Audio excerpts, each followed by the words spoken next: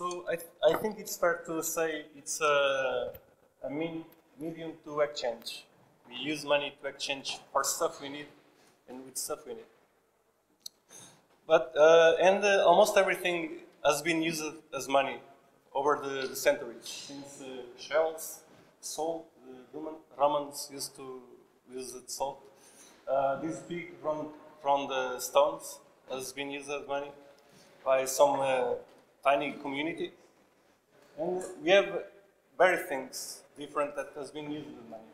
And one since that I learned, since I started to to learn these things, it, that, that is not a, a unique um, a unique uh, thing we can say about money, unique property, set of properties about money. There are, are, a lot of properties. But I think we can agree that some properties make good, good money. And uh, I think these uh, four properties are very important for money. Scarcity, portability, fungibility, and users. Let's, uh, let's continue. Uh, scarcity. Uh, you take the, the salt example. I think we need a, a money to be scarce in order to, to get value from it. For example, if we use a, still use salt as, as, as money, it's not uh, a scarce resource anymore. We, at the current rates, going to need uh, like 8 kilos of salt to buy 12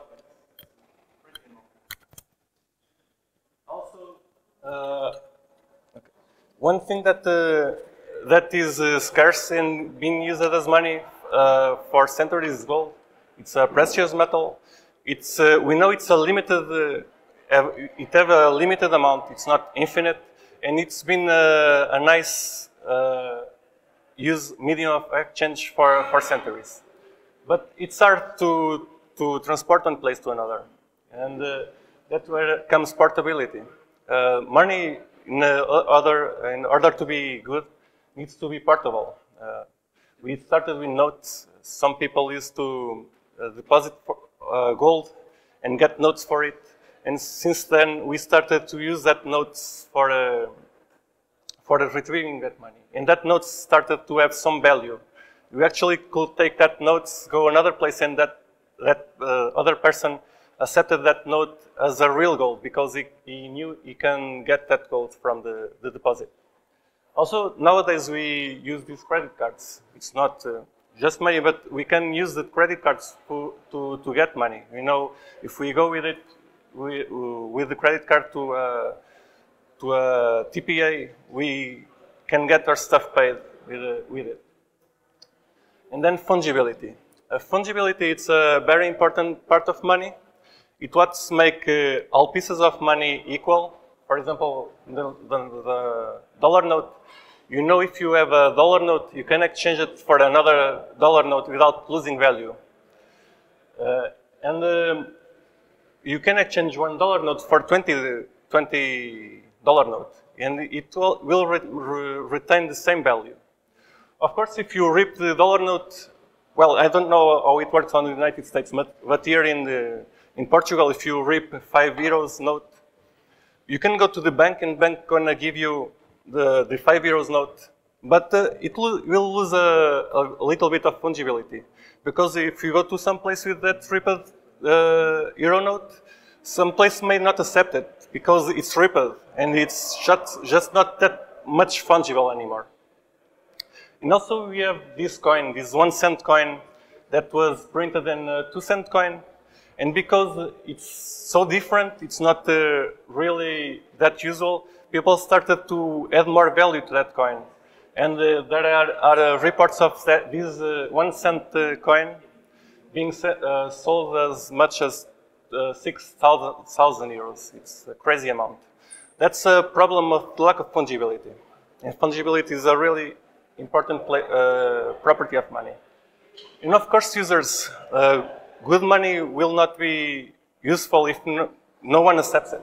You need a community, a group of users, a culture to use that money in order to have a good money. Or you don't want to have, uh, get use it in any place. I used to, to say, for example, people have Apple Pay. It's not money, it's a, a way to pay. But you can have a million on that, uh, on your Apple Pay account. But here in Portugal, at least, there are not many places to accept it. So that million don't gonna make you any good because no one's gonna accept it. It's a, a lack of users issue. Well, all this money that we used to know, it's uh, used to be assent on a central system. We have to trust these central issuers to print our money. Uh, we used to have our money on bank. We need to trust them to keep our money safe. And uh, sometimes bad stuff happen. And uh, these central issuers can have problems of liquidity for whatever reason that we, we don't have um, we don't have guilty of it. And uh, we're going to pay it. We, we pay for that lack of, of trust. Uh, for, for example, by inflation. If they start to, start to print more money than they should, the money st uh, start to devalue. And we start, we, we have the same amount of money in the, the, pocket, but we buy less things with it. For example, the, this is the chart of the US dollar and the euro. And you can see that um, with uh, one, one dollar since the beginning, now it's the value to 35 times. It's a, a crazy amount. And it's uh, money that gets out of your pocket without you know it. It's a, like an invisible tax. Also, we have another problem like Venezuela right now, when uh, they are, are uh, in hyperinflation and uh, the money is not really portable there anymore you have to have these big stacks of notes in order to buy simple things like carrots or, uh, or meat. It's crazy and uh, it's very, very problematic. So uh, when, um, since last crisis of 2008, the, the world crisis, a guy named Sat Satoshi Nakamoto was pissed with the situation and he developed uh, he made a, first uh, the paper of a system that was decentralized and uh, trustless, where we can transact our money without uh, trusting central issuers or the central parties. Uh, okay. The, the network start, uh, started to work on the beginning of uh, 2008, 2008, sorry. we don't know much about Satoshi Nakamoto it's a, a, a pseudonymous. We don't know who he is. The only thing we know, is it's not this guy. I, I assure you it's not him. Okay. By the way, for, for one, the ones that don't know, it's, this guy is claiming to be Satoshi Nakamoto, but never. Correct, right? Yeah. He never, he never proved to be him, just claiming. Okay. So, blockchain. You probably heard the word blockchain uh, when you talk about Bitcoin. It's the technology behind, uh, underneath Bitcoin. It's basically blockchain. It's a decentralized database when uh, everyone gets a copy from that chain and as their own copy. The blockchain works in an incremental way. Every time there, there are a new block, you add another state to database and uh, add the transactions that are going around. And um, I think the, um, the most uh, simple way to explain how transactions work is someone signs a transaction, they have uh, some money, they sign, sign it to another person. That transaction is relayed through a peer-to-peer -peer network into what we call the transaction pool, memory pool. And after a miner find a, a valid block, he took all the transactions that fit that block and uh, he added the new block to the network. And I think it's the easiest way to explain. Uh, what is a miner, by the way? Miner is uh, a guy that is brute forcing a hash, trying to find a hash below certain number, certain number. In order to, we have a, in, in a, with certain parameters, so we can have a, a, a block in a really stable number of time. In case of Bitcoin, it's uh, 10 minutes time. We, we know that we're going to find the next block in about 10, minute, 10 minutes. Uh, okay, how does Bitcoin transaction, transaction work? For example, let's say Alice wants to send 0.5 Bitcoin to, to Bob. What Alice do, she takes some Bitcoin that she owns, she half, of, half Bitcoin to Bob, she sends the rest of it to, to uh, an address that she controls, and, uh, and she sent that transaction to the network. Uh, and uh, this is see, this is this can be seen by everyone. Everyone can check this transaction is valid. But this also brings some some problems. It's the transactions look like this. You can see where where one transaction comes to another place, to another place, to another place. The transactions have, have this um, historic uh, historic uh, story attached to them. Also, this is a, a, lack of privacy. Everyone can see what is happening on the, on the Bitcoin network. And uh, Satoshi used to believe on the beginning that Bitcoin is private enough. We know that uh, anything that you can see on the blockchain is actual one address, one random address sending money to another address. But uh, that address can be attached to real persons on the central places, like uh, the place where you buy your Bitcoin. They know that, that you are sending to your address, or the place where you're going to spend it. Or if we, if you have a business, your employee going to see uh, your address that you are sending to, to him. And um, you're going to see also the, what the other employees, employees are receiving. That's sort of a concerning privacy issue. Also, anything can be seen on the blockchain.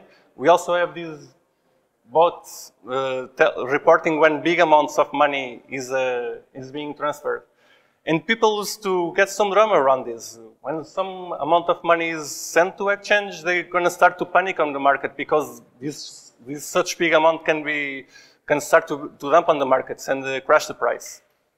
Also, this is a so concerning problem that this guy, the owner of Binance, one of the, the biggest exchanges, when he made this 2,000 to 9,000 uh, BTC transaction, he felt the obligation to tell the people it's a, a fixed transaction and he was not being sold. So it's really a big issue. It's a really privacy issue. Uh, we can see this kind of uh, rich lists on the, on the blockchain, they are every place. And um, let's see, for example, we believe that Satoshi Nakamoto himself have uh, about 1 million bitcoins. If uh, at any time he start to move his bitcoins, I bet you that the market is going to fluctuate a lot because people to panic with the possibility of that bitcoins being, uh, being dumped on the market. So it's not just a privacy issue, it's a, a stability on the, privacy, uh, on the price issue. So uh, let's uh, look uh, at the fungibility too. If uh, all transactions are, are uh, seen by everyone, we can try to archive information from the transaction history. Let's see that Alice in this example pays one BTC.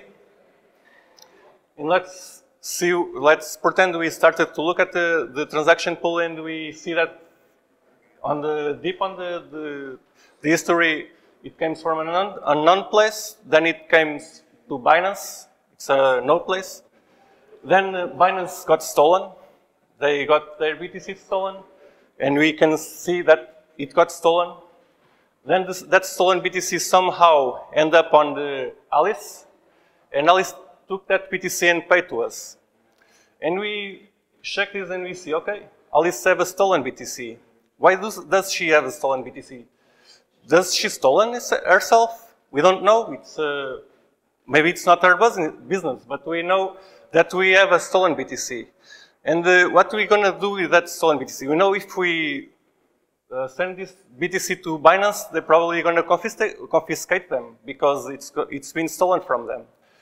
So we can try to archive Alice. Maybe Alice is not uh, available anymore. And we have, have this BTC that is tained. It, it's not uh, good to be transacted because someone can, uh, can be after us. So maybe we just uh, sell it for less in order to, to just get rid of it. And this is a, a truly problem with Bitcoin. The, some transactions are being uh, tainted and uh, worth less than the others. Also, fresh mined bitcoins worth more because they are, have no history. And uh, are uh, reports of the, them being sold for a higher price because of that. So we can say one BTC is not equal to another BTC. So, what is Monero after all? And uh, why do, do I myself and other people like Monero? Monero is the leading cryptocurrency uh, that uh, is uh, with this focus on, on uh, privacy and censorship transactions.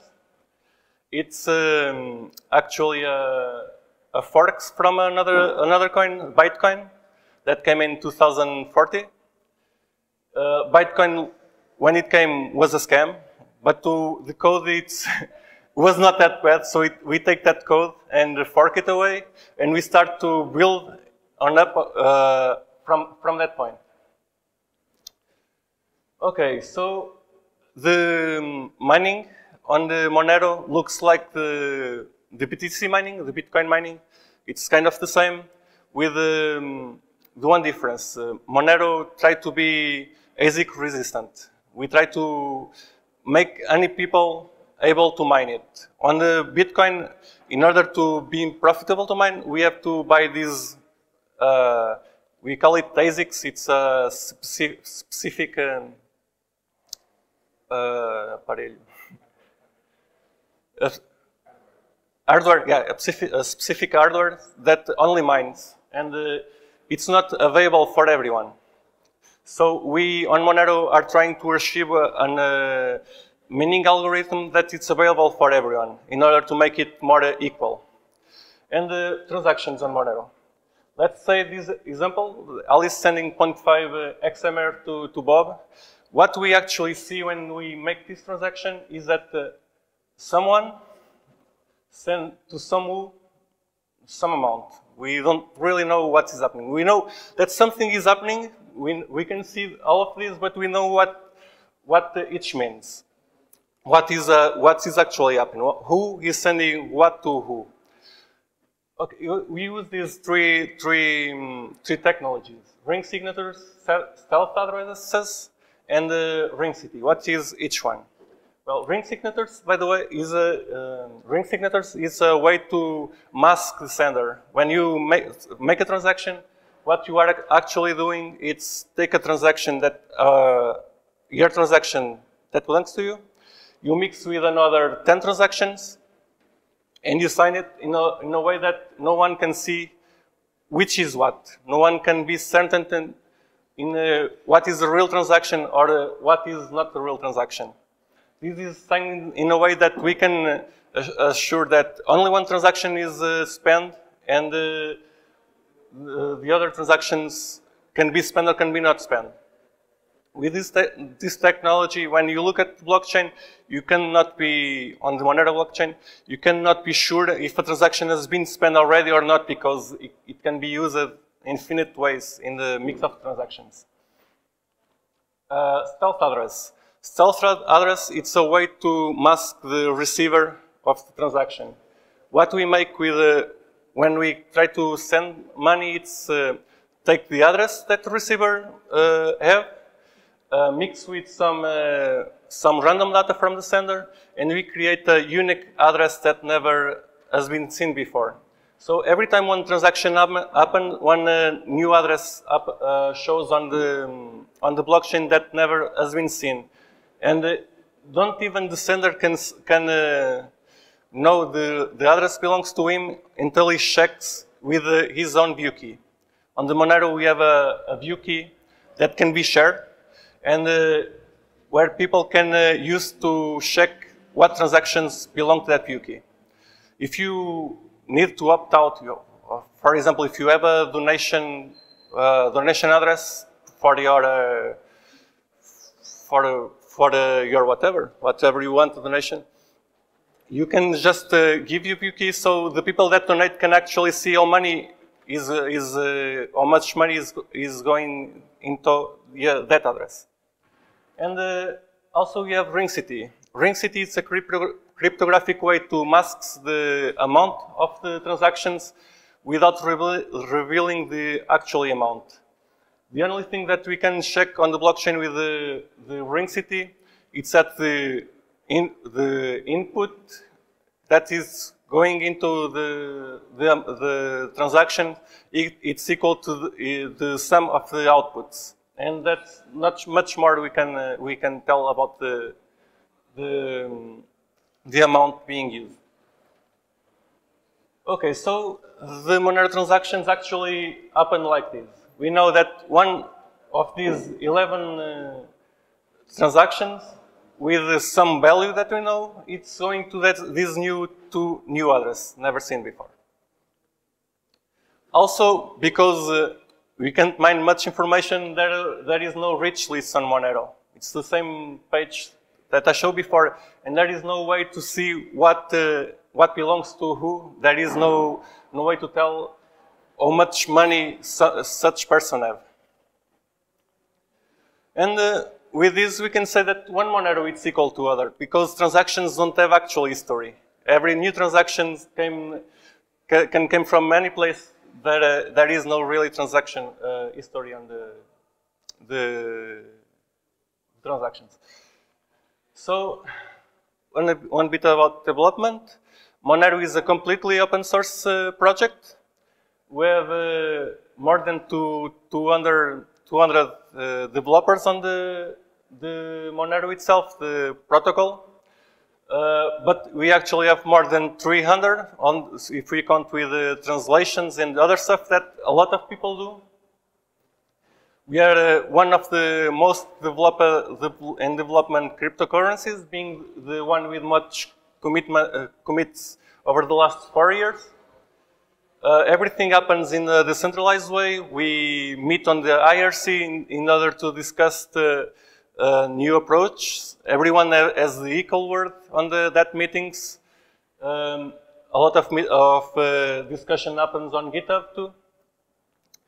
And uh, we have uh, really great guys working on it in the, a decentralized way.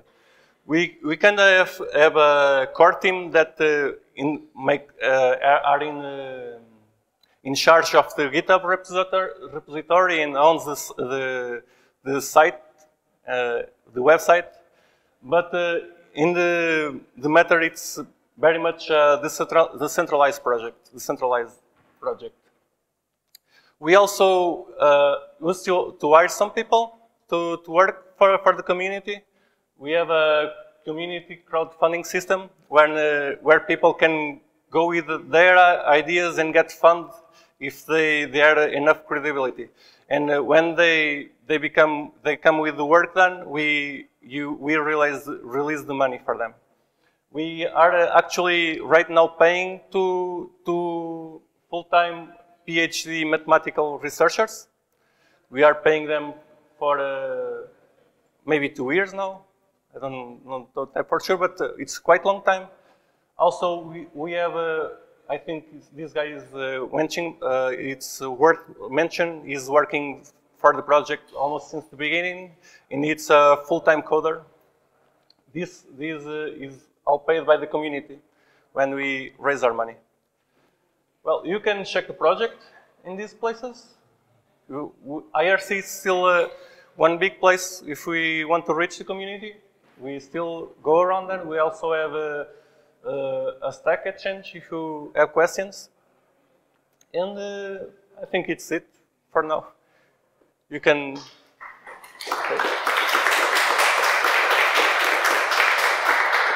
Thank you.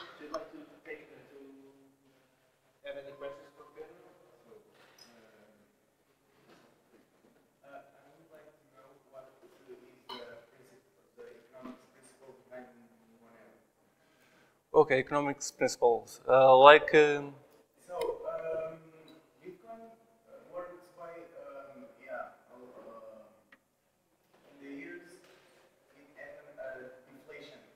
Okay, okay, okay. I, I, I, I forgot to mention that Bitcoin uh, has a maximum supply of 20 million bit, Bitcoins. Is that? 21 million, yeah. Uh, Monero is, uh, it's kind of the same way. It's uh, 18 million, right? 18? 18 million, but uh, with a head of a tail emission. When the, the 8 million gets mined, after that place we start to have a 0.3 XMR per, per minute in order to keep the, the miners incentivized. The, the mining of Bitcoin, they are uh, expecting to have the, the transactions fees to pay for the miners after the the mining the the, the, the all the coins get mined. On on uh, Monero, we, we feel like the miners need to get paid in order to process, continue to process the transactions.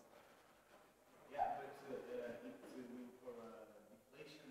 Uh, so imagine, so the okay. Um, It's keep it's inflate, but it tends to zero. It's it's a we can uh, say over some time it's gonna start to deflate because more people are gonna start to lose money than the one that it's created, but uh, it's uh, it has a, a little bit of inflation.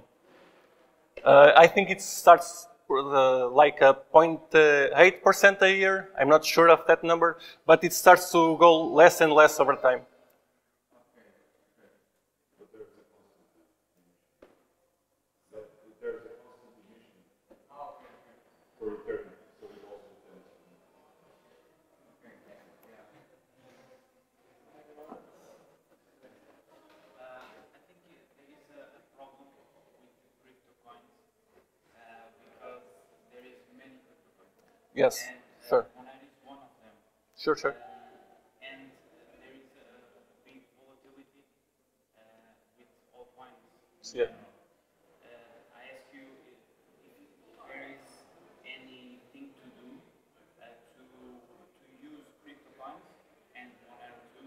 pay the bills and not have some I think I think the volatility it's a, a problem of the lack of users. We still have uh, uh, not much users. The price is is, uh, is still low. You can look at Bitcoin. You say ten thousand dollars for a Bitcoin. It's it's it's a big amount, but it's actually low. If you if you don't have users to, to absorb the, the, the money when it's circulating.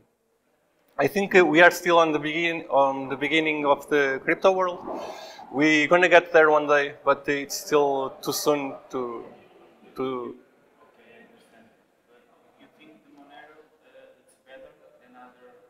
Yes, I believe so. Um it's uh, it's uh, it's still the only crypto coin that it's actually private by default. There, there is not only the the coins that are forked from Monero do the same thing, and uh, they have a, a much less uh, user base, so they are easier to attack in order to it. Question.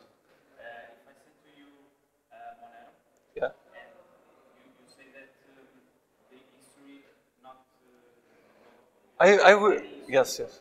uh, if there is any problem, I send to you one Monero, I don't know, uh, but uh, any problem in the in the past and you don't receive the money, what uh, what happens? Well, if I didn't receive the money, something has to be wrong on, on that way.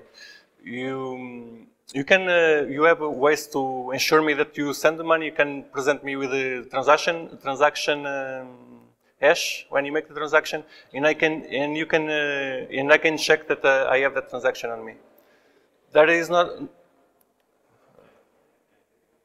There is, a- I think there is any, uh, I think it- they need to be uh, work, working on it because if I send to you one thing and I send to you the, the story, but maybe if I have a malicious thing, um, I don't know, I think uh, it, it needs to be more, auditable. yes, yes. But, but I understand what you say. Okay. Anyone else? Small comment and question. Uh, comment on users uh, reducing volatility. Uh, be careful with that because the Bolivar has a lot of users, but its volatility is higher than any scam coin. So users do not equal reduced volatility. Volatility is, is a function of liquidity. Anyway. Yeah, yeah, you are, you are, you are right. be Yeah, yeah, yeah. I yeah. mean, if you're hoping that more users will reduce volatility. Yeah, you are, you are right with it. Uh, so the question I have about Monero, thank you for the presentation, by the way, very, very interesting. But uh, as far as uh, auditing uh, the transactions, so with Bitcoin, I can audit the entire chain from the very Yeah. first transaction. Uh, if I wanted to do the- the same thing with Monero, would I be able to audit the, the chain? We are relying on the technologies. We we believe they are uh, they are uh, proof. They are uh, all all the all cryptographic uh, technologies. we rely on the trust that they will not fail. We already have some big issues that need to be fixed. We believe that there is no issue now, but we can be 100% sure of it. But, uh, so, and then to add on to that, so what would be your canary in the coal mine, if, if you understand the, uh, the expression? So what, what would alert uh, users in the Monero community that something has gone wrong if they cannot audit the I- transactions that are happening? I think there has no much to be done. Otherwise, that, for example, starts to one exchange with more coins that that should be exist, but there is not not much we can do about it. It's not. Uh, Right. So, so then to me, what it sounds like is that Monero is making the trade-off of privacy for auditability, which Bitcoin has an advantage in that sense, in that Bitcoin can be audited. So if there's a bug in Monero, Yeah. or, uh, if there's a bug in Bitcoin, it, it would be You much can- yes, yes, yes, yes. the bug exists. In Monero, it would be much harder to know. if Is- exactly. Yes, Okay, yes. Very nice. Otherwise, great.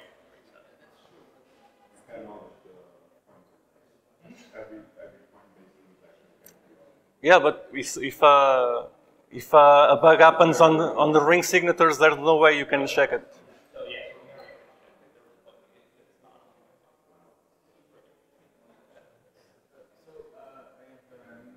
Yeah, sure. Um, sorry. Uh, what is the limit of the size of, of one block? Okay, it's a dynamic uh, size. It's not a limit. It's uh, uh, for the default. It's uh, three three hundred k, yeah, of the size. But uh, if the median size increase, the miners have the possibility to mine a, a little bit uh, over over the median of the, the size. Yes, yes, yes. It's not fixed to to an. Uh, no, no, no, no. I I asked you that because uh, the, the Bitcoin Cash has that problem that uh, that has uh, two megabytes and uh, I, uh, yeah. So the Bitcoin Cash is having a lot of trouble because of that, because of the size of the Yes, yes, yes, yes, sure. And uh, uh, Roger, yeah, uh, he's leading the Bitcoin Cash. And now, um, a long time ago, they uh, split. So that is uh, Bitcoin SV and Bitcoin Cash. Exactly. On uh, on uh, Monero, we have a kind of uh, dynamic size. We believe that it gonna, for example, if we have a 100 megabyte, uh, if we reach any any day to that uh, to that place, uh, maybe the network will not gonna be that stable, but we need to reach there to to be sure. But for now, it's it's dynamic. There is not a, actually a, a limit. And uh, I don't know what block size of Ethereum has, but uh, now uh, the blockchain size is uh, over On on Terra, yeah, yeah. yeah. It's, it's insane. Yeah, you have to download one, two terabytes to get the node. Exactly. Yeah, It's stupidly insane. Uh, so because of that, uh, But it's a, a, a scalability problem with uh, all crypto coins. In uh, order to have a full node, you have to s- to have uh, all the copy. In in uh, each time, Bitcoin and Monero are gonna reach that that kind of space, but with a, a much more smoother grow. And we believe that when we come to that uh, space, also the um, the disk space is gonna be a lot cheaper for everyone. We are relying on that assumptions. Everything? Oi, thank you.